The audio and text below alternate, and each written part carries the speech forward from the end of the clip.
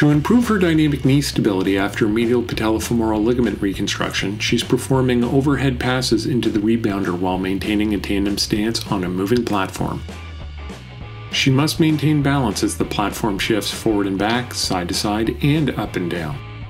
For level 2, strobe eyewear is introduced. She has to react quickly to the changes in body positioning to keep her balance.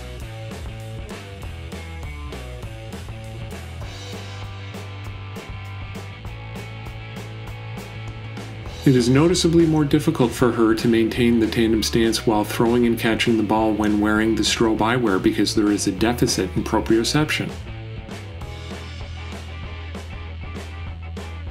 To prepare for higher level activities, you have to perform higher level exercises.